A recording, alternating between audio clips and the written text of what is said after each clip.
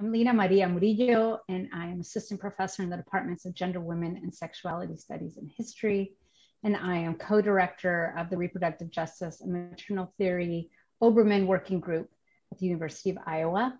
And during the 2020 2021 academic year, we sort of, um, as everybody else was in hibernation, we, we said, we're, we're going to mini hibernate. We're going to, you know, tamp down the work of the Obermann group and meet virtually and just do a reading group. And so we offered to everyone in the group, um, especially to the, the undergrads and graduate students, that um, we would put together a reading list, we read together. And for those who are students, we would offer them uh, the books, um, courtesy of, of our group and of the Obermann Center.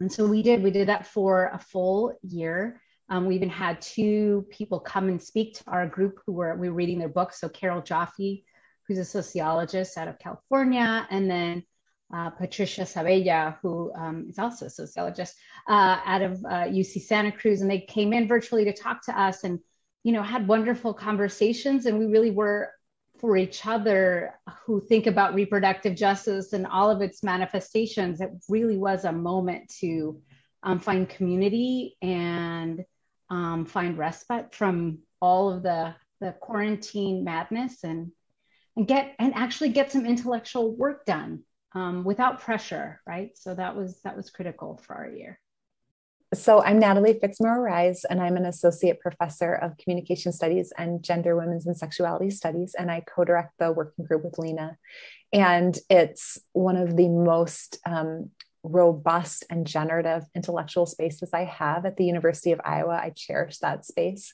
And so in January, I believe it was in the new year, um, Andrea O'Reilly contacted me to ask if I might contribute uh, an essay on reproductive justice to this uh, this newly updated reader in maternal theory. And I wanted to do it only if I could write it with Lina.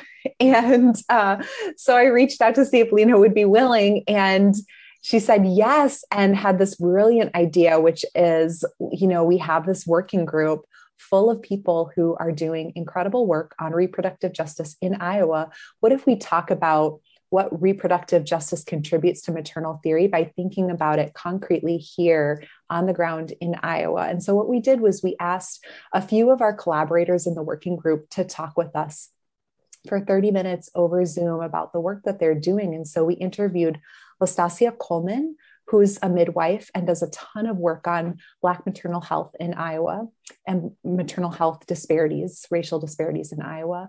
We talked with Nicole Novak, who's a public health researcher and who works on um, ICE and immigration raids and the impact of, um, of ICE raids on uh, maternal health and uh, infant mortality. And then we spoke also with Megan Thompson, who's another midwife her work is um, centers on incarceration and um, uh, people who struggle with substance use disorders. And so she's looking at um, how to provide perinatal care in those contexts. And so we asked them about the work that they're doing, how reproductive justice informs their work, and how the, the work that they're doing illuminates what it means to think about motherhood and race and um, migration and class and a, variety of other things in the context of the Midwest and in Iowa, and how to think about those things through the lens of reproductive justice. It was madness.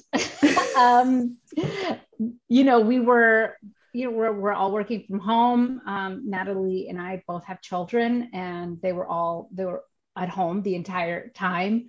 Um, and so we would carve out like Tuesday afternoons to write together and to, to do the interviews.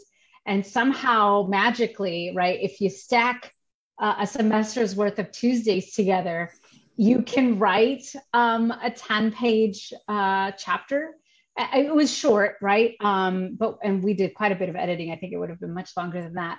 Um, but you know, and and did went through a couple of, of drafts, um, and then sent it off. And then before we knew it, in uh, July, we had a copy of this bound, this massive biblical, almost um, encyclopedic book on maternal theory with our article inside, which is, I think, a huge feat to do um, during the pandemic and not being able to see each other. I mean, this was it. It was all over over Zoom. So it was incredible. We, given that it came out so quickly, we also were able to frame the whole essay through um, through this lens of um, the pandemic and racial injustice in the United States and you know mothering in that kind of precarity and so um, there's a kind of crispness and edge to the piece that I think comes out of writing in this moment and moving to production so quickly.